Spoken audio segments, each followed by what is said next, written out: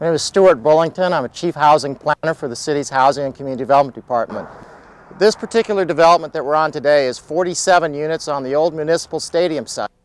It includes some features as detached garages, which create a whole diff different atmosphere for the housing units, uh, alleyways, new streets. We're in the southern edge of the Beacon Hill project. Uh, it's Behind me is the Forest Avenue redevelopment project. It's a KC Go project, about $3.1 million to provide stormwater uh, benefits through the next the two block area and then create about 28 single family housing developments. And the houses are designed to uh, market for about $165,000. The special features of these of the financing is that the land will be a subsidy to all the purchasers of this site.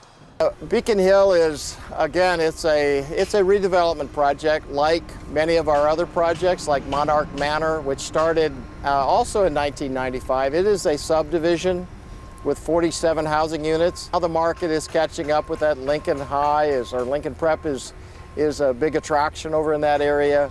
18th and Vine, the East Patrol. Uh, that's what adds to these projects is building around strength.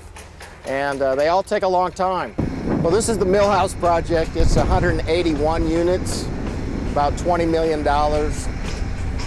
10 uh, 10,000 square feet of retail on the corner of Troost and 27th.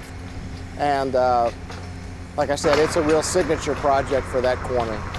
Beacon Hill Development is one of the largest urban redevelopment projects in the country. We're now over about 500 housing units here in Beacon Hill, both affordable, senior, and market rate. It's a good mix of housing.